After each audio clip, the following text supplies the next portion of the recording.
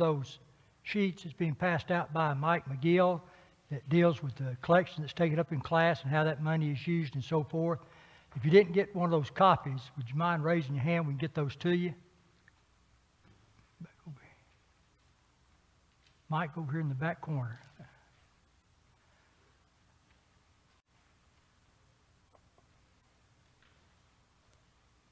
Okay, we're getting ready to start a class here, and I was just going to kid Jerry a little bit, but I can just ignore that first slide for right now. I had just a couple little things I wanted to say about Hebrews. If you closed out, didn't get those last two verses in, but it's just some little things. But uh, one of them I think is especially important. Uh, verses 24 and 25, he says, "Greet all those who rule over you, and all the saints. Those from Italy greet you." Uh, so he, he, sends special greetings to the elders uh, of these people. And, and I think that is interesting. The only one time that I know of that Paul specifically greets the elders is in his letter to the church at Philippi, Philippians chapter 1 and verse 1. He includes greetings to the elders and deacons. Uh, but here he mentions, greet those who rule over you. And if you recall, he had talked earlier about how that these brethren needed to obey and submit to the elders. So evidently there were some uh, problems there. Some were not willing to submit to them, maybe. Uh, and, and, so, you know, he's emphasized the importance of it. He's mentioned these men three times in this last chapter and concludes here by saying, Greet those who rule over you. So uh, let's don't ignore those leaders, he says. You make sure uh, you greet them in my name and let them know uh, that, that, that, the writer is concerned about them also and about what's going on. And then this last little thing grace be with you all, amen. Uh, I never paid much attention to this. I know the word grace, it's used a number of times in the New Testament. Uh, and, and, the word grace simply means favor or undeserved or unmerited favor. But in all of the greetings, and it's in every one of Paul's letters, I went back to check every one of them, uh, the word grace appears in every one of them at the end with the article, the grace. And, and according to uh, Brother Milligan, anytime the article is used with grace, uh, it, it, means uh, here in the New Testament the special and peculiar favor of God to his children. That favor that supplies all that is good and frees them of all that is evil. And so God's grace has appeared to all men, but when it's used by Paul in reference to the grace for God's children, he uses that article uh, to let them know this, this is especially an uh, you know, appeal for the grace of God to be with His people and providing them everything they need and, and ridding them of everything that's evil. Uh, and so we're all stand in need of the grace of God, but to think that as God's children, uh, Paul has made a, a particular uh, request of God in that regard that His grace be with those who are His children to help us in this life and our endeavors to live for Him faithfully. Now, I gained a great deal from the book of Hebrews. I've studied the book before, I've had classes in it in college, but this time, for some reason, it seemed like I benefited by it more than I ever have, and I certainly hope and pray you have. I know we spent a lot of time in that book, and uh, that can get kind of tiresome sometimes to people when they just stay so long in one book, but uh, hopefully you've uh, profited by that as much as I did. And, and I think the same thing now for the book of James as we begin looking at it, because James is a shorter book, but it's a great book. It has a lot of things to teach uh, those of us who are God's children. Uh, as we look at the book, though, I want to begin just by uh, giving a brief introduction to the book and talk some about that. First of all, in regard to the author of the book. Uh, it, it's interesting that the book begins with the words James, a bondservant of God and the Lord Jesus Christ. So he, he lets us know in the very beginning who the author is. It's James. But there's a slight problem with that. The name James was a very popular name among the Hebrews. And there are at least three men of importance in the New Testament that have that name James. And so uh, we've got to understand who is this James that's being talked about.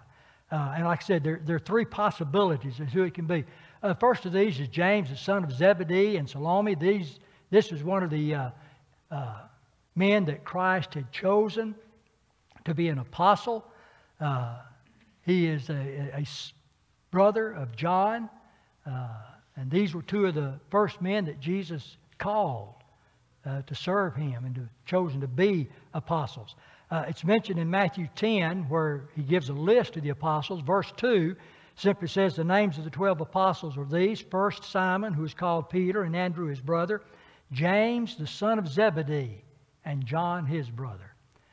So that's one of the James that's talked about. One who is a, uh, the father or the son of uh, Zebedee.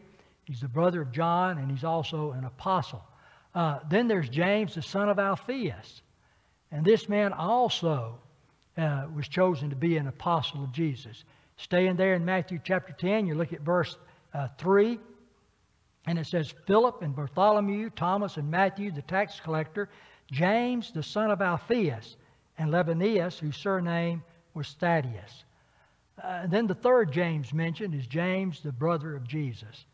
Uh, Matthew chapter 13 and verse 55. Statement is made Is not this the carpenter's son? Is not his mother called Mary and his brothers James, Joseph, Simon, and Judas? So uh, that, that's given there in Matthew chapter 13. Now, by process of elimination, I think we can come to a conclusion as to which James is the one that wrote this book. Uh, first of all, I, I think we can, uh, in eliminating, we can eliminate James, the son of Zebedee, because he was killed around 44 AD. Uh, you read about that account given in the book of Acts, chapter 12, verses 1 and 2, uh, that mentions the fact that it's about the time that, that Herod stretched out his hand to harass some from the church and and verse 2 tells us that he killed James, the brother of John, with a sword. So this, as I said, we can't pinpoint exactly, you know, but, but around AD 44. It may have been a year or two before or after that, but uh, somewhere in that area. But the book of James itself, and again, we can't pinpoint exactly when it was written, uh, but somewhere usually in the early to mid 60s that this book was written. And so, by elimination, that cannot be James, the son of Zebedee, that wrote this book, because he would have died several years before the book was written. And so, we can eliminate him. Uh, the only ones who have seriously considered James, the son of Alphaeus, are the Catholic and the Greek Orthodox churches. And uh, they have a, a, reason for wanting it to be James, the son of Alphaeus. Uh, and uh, one of the things is, you know, you look at these four men James, Joseph, Joseph, Simon, and Judas. Uh, they claim were cousins of Jesus, not brothers of Jesus. Now, why would they want to say that, that these are cousins and not brothers of Jesus? Yeah, they believe that Mary continued to be a virgin and she never had any other children. And so, lo and behold, you've got these four men. If they're brothers, then that, that destroys their, their belief in what they teach. And by the way, that's a doctrine uh, in the Catholic Church that came some 100, 200, 300 years after uh, the time of Christ that they, they developed this doctrine. And so they don't want to say brothers, they want to say cousins. But the thing is, the text calls them brothers. The, the word is adelphos in, in the Greek, and it's a word that simply means brothers. It never means cousin.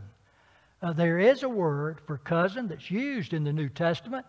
Uh, and so, if it was talking about the cousins of Jesus, why wouldn't they have used that word? Uh, Colossians chapter 4 and verse 10, for instance, it says, Aristarchus, my fellow prisoner, greets you with Mark, the cousin of Barnabas about whom you received instructions. If he comes to you, welcome him. So uh, there is that word that's used uh, in the Greek that means cousin. They could have used that if, if they meant to say that these four people are cousins of Jesus and not brothers of Jesus. And so, you know, that, that idea is brought out that they, they oppose the idea of, of believing that Mary had other sons, and so they want to deny that. Uh, one other possibility some have suggested that these four brothers of Jesus were sons of Joseph by a previous marriage. Uh, despite the fact the Bible doesn't say anything at all, doesn't give any hint that Joseph had been married before he married uh, Mary. But they say, well, you know, this, this could be one way of explaining it and, and preserve their doctrine. Uh, but if that's the case, these four men would not be related to Jesus in any sense. Uh, they couldn't be related through Joseph because Joseph is not the actual fleshly father of Jesus. And they can't be related to him through Mary because, according to that, according to them, Mary would not have been the mother of these four people. So he wouldn't be kin at all to Jesus, wouldn't be a cousin or a brother. And so it, it destroys, you know, their, their belief in that regard. Uh, but there's another reason why it could not be James, the son of Alphaeus. And they believe that the James that's the, uh, uh, the cousin of Jesus is this James who's mentioned as being the son of Alphaeus. Why couldn't he be the one that, that wrote this book that's the. Uh,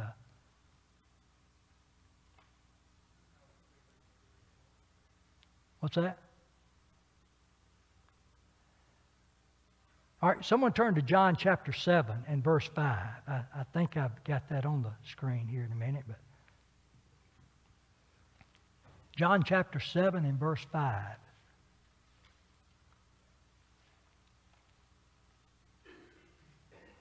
Who's got that verse?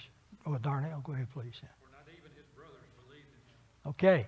Uh, even Christ's brothers, they want to call them cousins, okay? Whoever, they did not believe in Jesus. Well, who is James, the son of Alphaeus? We just talked about. He is an apostle. Would Jesus have chosen someone that didn't believe in him to be an apostle, to be a leader in his church, when he's not even, couldn't even be a member? Uh, he's not a follower of Christ? Well, no. He wouldn't have chosen a non believer.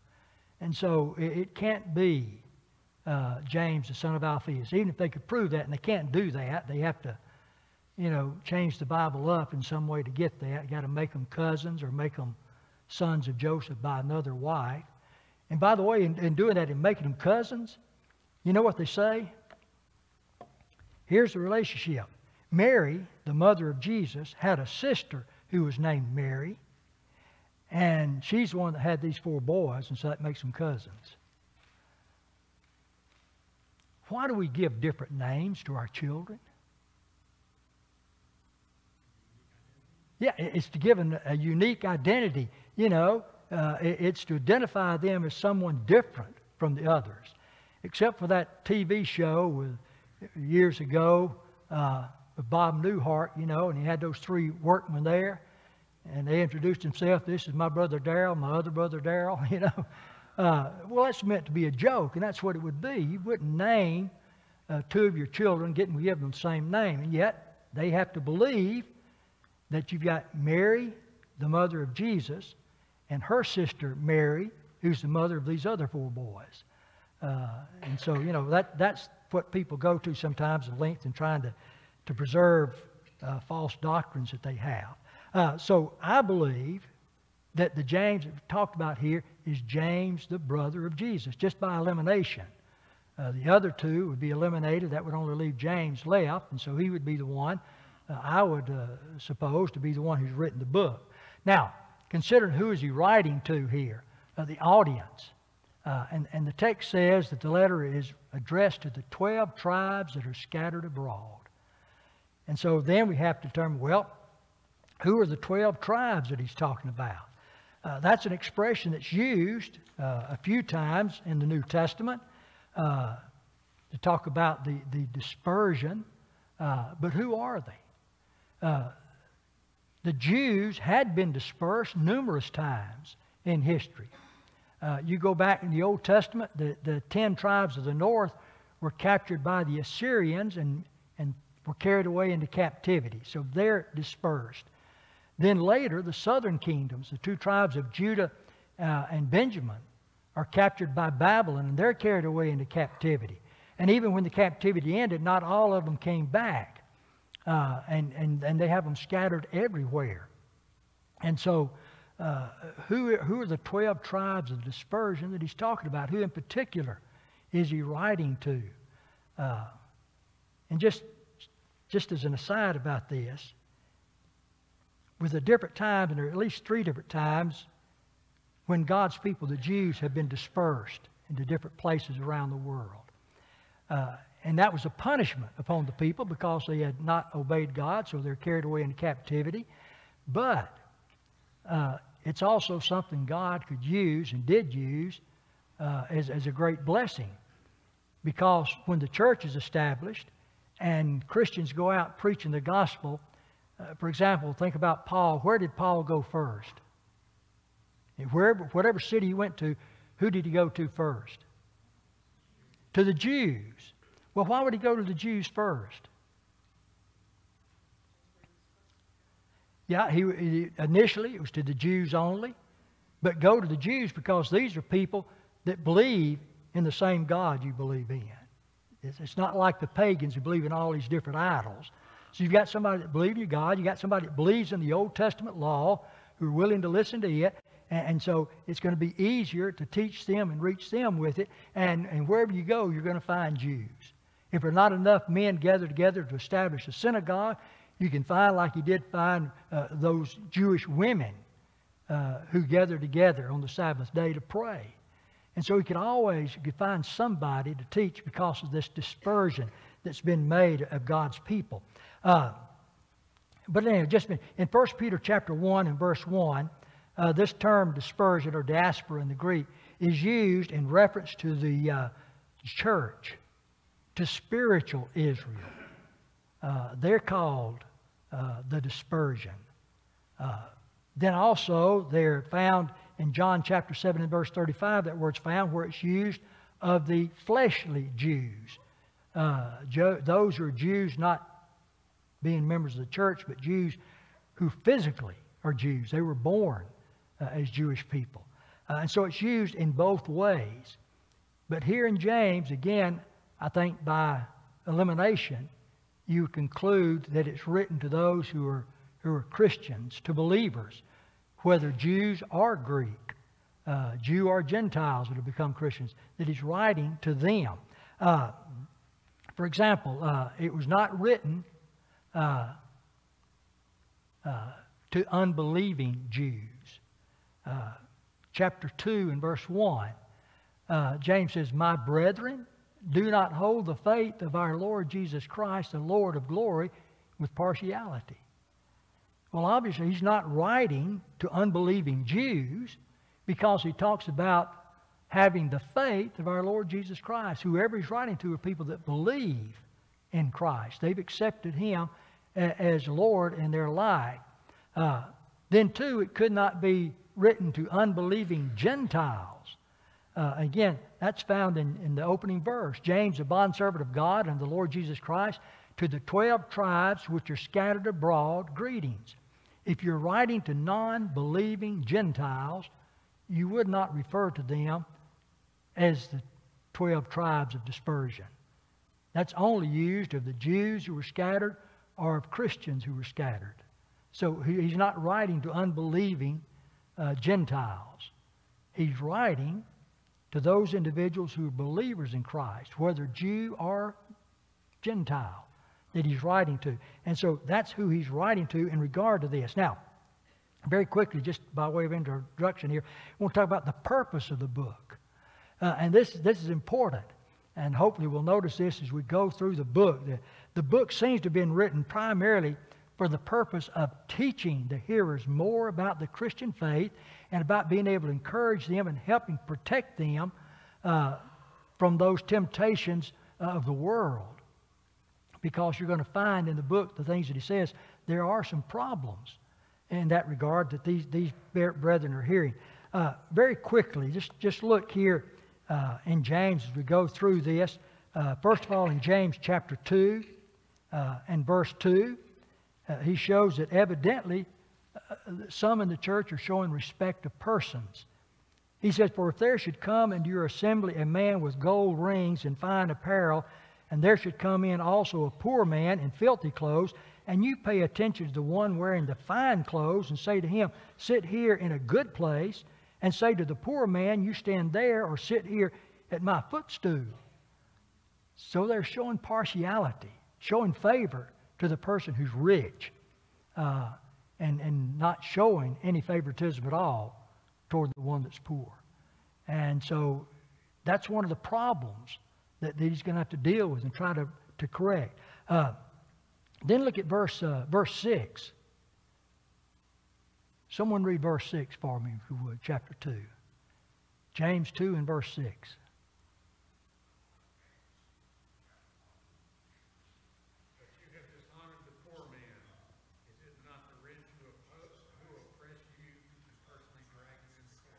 Okay. Uh, th- there's this problem they have uh, of contempt they have toward the poor and the way they treat them. Uh, and, and, he tells them, listen, you need to, it's the rich people that are dragging you into court. And they're the ones that are causing you trouble.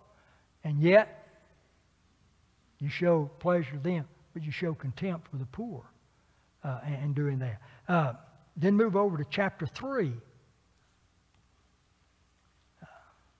verses 8 through 10. He says, But no man can tame the tongue. It is an unruly evil, full of deadly poison. With it we bless our God and Father, and with it we curse men who have been made in the similitude of God. Out of the same mouth proceed blessing and cursing. My brethren, these things ought not to be so. So there's some problems there in the church of those individuals uh, who speak evil. Uh, words of blessings and cursing coming from the same mouths of them. Uh, then in chapter 4 and verse 11, he says, Do not speak evil of one another, brethren. He who speaks evil of a brother and judges his brother speaks evil of the law and judges the law. But if you judge the law, you are not a doer of the law, but a judge. And so they've been guilty of judging one another. So there's some problems. And one of the reasons he's writing this book is try to help correct these things uh, and, and save these people from the problems and the trouble that are going to come upon them uh, when they're misbehaving in that way and treating others uh, incorrectly. And so that's the thing that, he's concerned about. Then the last thing by way of introduction, and get that out of the way, and then we'll be able to, to start in the book itself. Uh, uh, well, I need to point out this. The, James is called a book of practical Christianity. What does that mean? What, what is the practical Christianity?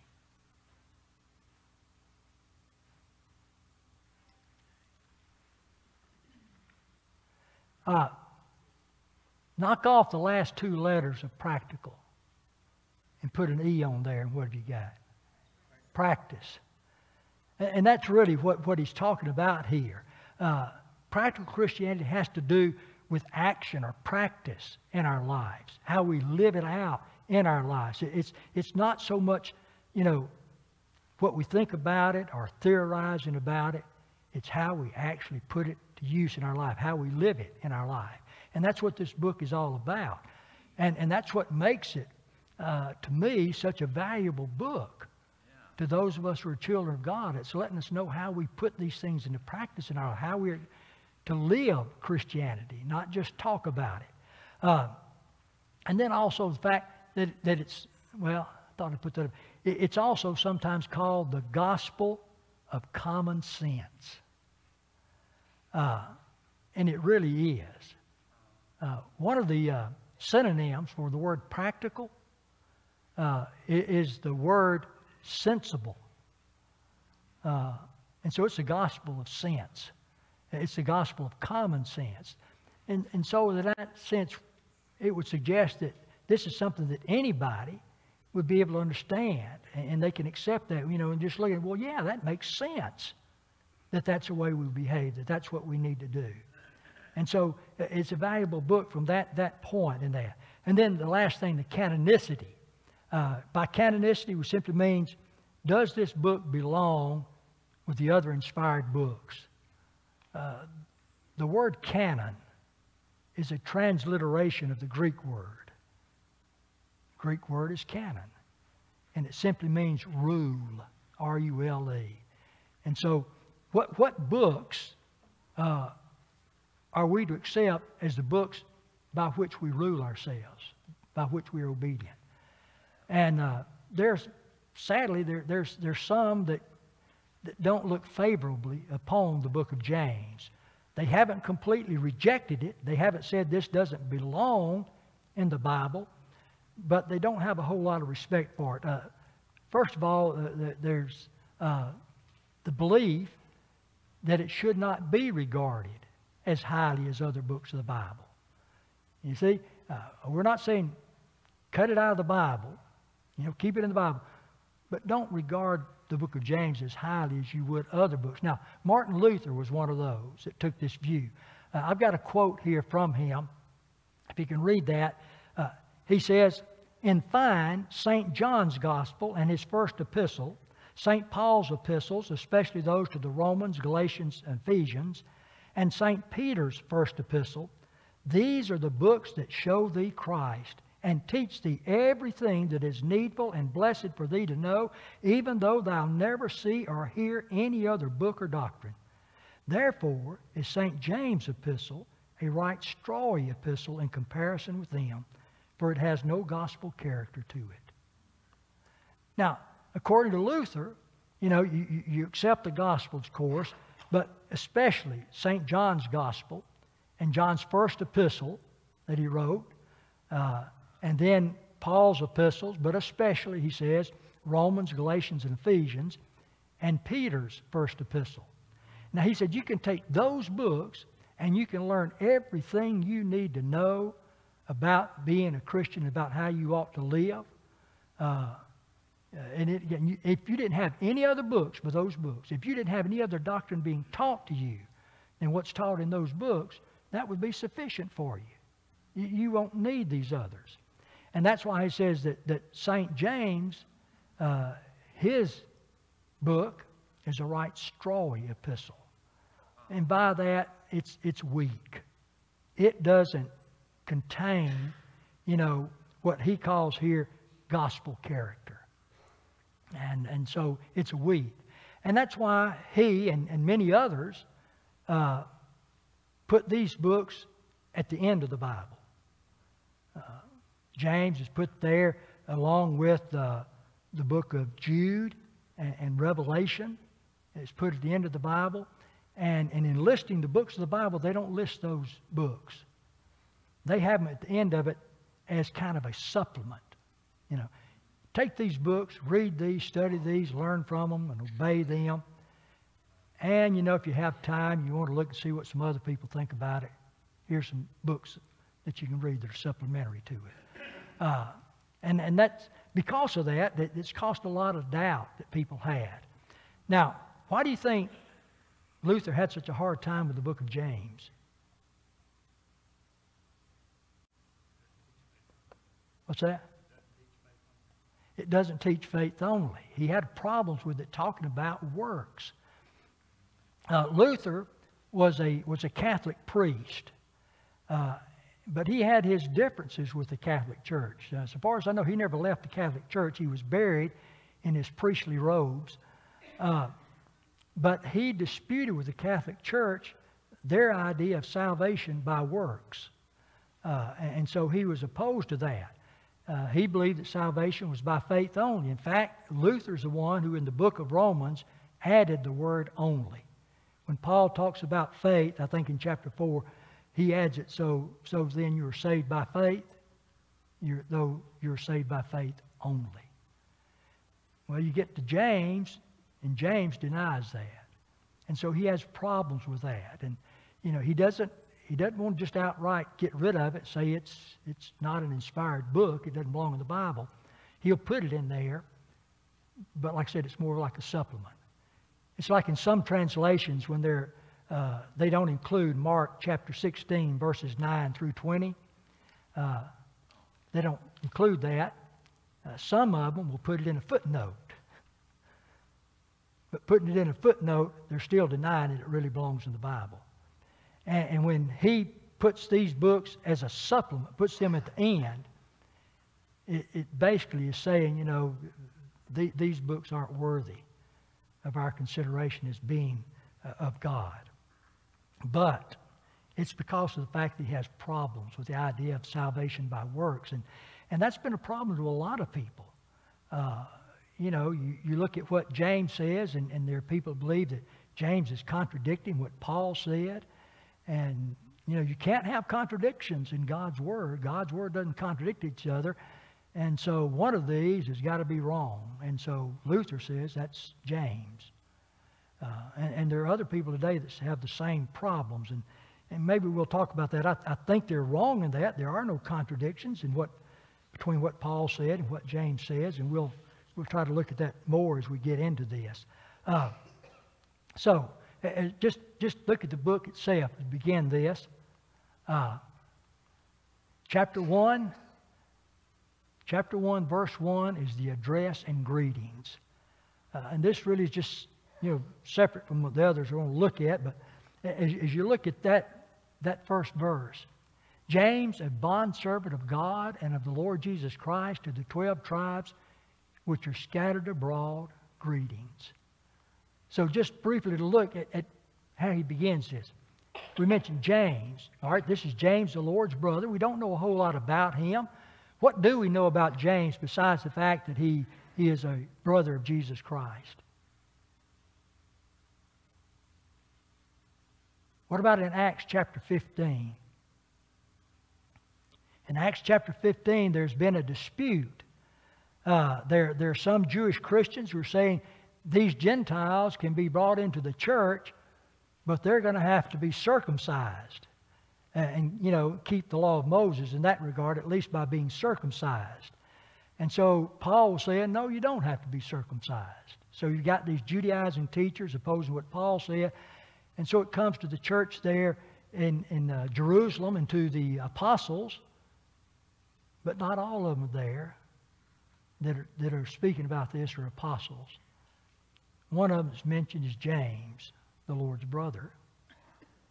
Uh, and evidently, he is a leader in the church at Jerusalem, which would tell me he's an elder in the church there. And he speaks up uh, in regard to this. And what he has to say is in agreement with what Paul is teaching. And so we know that he was a, a leader among God's people in the church there at Jerusalem. Uh, we don't know much more about his life or, or, about his death, although a lot of what has been said would suggest that, that he died as a martyr for Christ, that, that he died because of his faith uh, in, in, Jesus as, as the Lord, as the Messiah. Uh, so when he writes to these people here, he describes himself as a bondservant of God. Now, that's caused problems for people in, in not believing that this is James, the Lord's brother. Because if you're the Lord's brother, wouldn't you tell the people? James, the brother of Jesus. Why wouldn't he do that? You know, we don't know for certain. It would all be speculation. But some people believe that it was because of the fact that he didn't want people to accept him and what he's saying just because he had a physical relationship with Christ, that he was a brother of Jesus. But he wants people to understand that as a leader among God's people, he is a man who has been inspired of God, evidently, and he has something to say. And they need to, to listen to him not because of his physical relationship to Jesus as a brother, but because of his relationship to God as a bondservant of God. Uh, and really, that, that tells me a lot about it. And it, there are only two books in the Bible where the writer of the book introduces himself by name and by the title of bondservant. Now, Paul will, will introduce himself by name as a bondservant, but he'll also add an apostle. But these are, there are only two that introduce themselves as a bondservant uh, and by name. James is one of them. Who's the other? Who would you think it might be? No, not Paul. Jude, the book of Jude. Why? Who is Jude?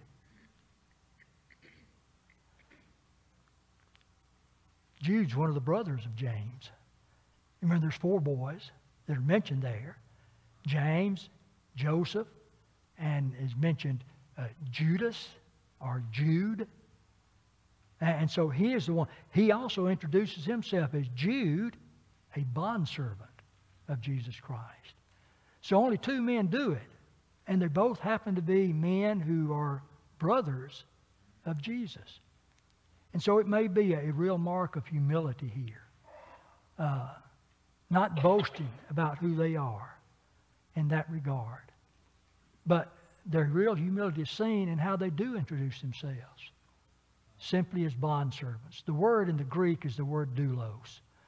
And sometimes it's translated, King James translates it most often as servant. Uh, others translate it as bondservant. Some translate it slave. And, and in reality, the word slave best fits the meaning of the Greek word doulos.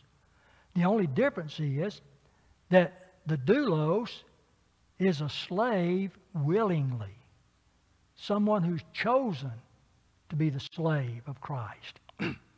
uh, normally, when we think of the word slave, what do we think about? Think about forced enslavement. You know, you think about people who are captured and maybe put in chains and carried away from their homes uh, to some other place and they're sold to somebody and, and they have to serve them, but it's forced, forced enslavement. They don't want to do that. They're, it's not their will to be there. They're forced to be there.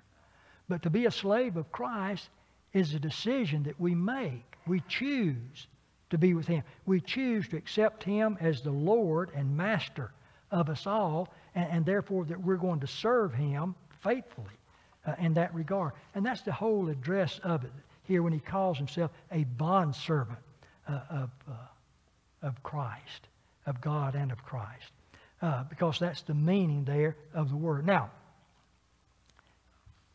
two things that I read in regard to James in that regard.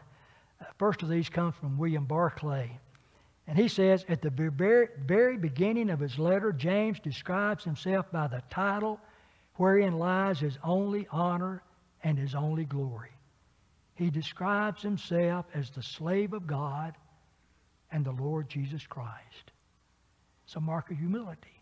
You're the brother of Jesus. Brag about that. Put that out there, who you are. No, no, no. I'm just a slave of God and of Jesus Christ. And then R.V.G. Tasker made this statement about it. He says, James, in sending greetings to his readers, is content to describe himself not by the title of any office he may be holding in the Christian church, and I believe he held the title of elder. He says, but very humbly, by reference to his status as a Christian man. And calling himself a slave, a doulos, he, he's making no distinction between himself and those people he's writing to. He's no different uh, than, than any of us. Those of us who are Christians, we're slaves of Christ. We're doulos. And James says, I'm not special. I'm not better than you. I'm, the, I'm just a Christian man, just like you are. Uh, I, I'm a servant, a slave of Christ. But what does that mean? What basically does it mean to be a bondservant? And there are three things uh, that, that, that I've come across in regard to that word. Number one, being a doulos implies absolute obedience. Now, some people were made slaves and they obeyed absolutely because they were forced to. Uh, you know, they might be beaten severely to get them to do what their master wants them to do. But we choose to obey. And we have to understand that, that as slaves of Christ, we have got to absolutely obey Him. And then also it entitle and entails absolute humility. And you see that in, in James here.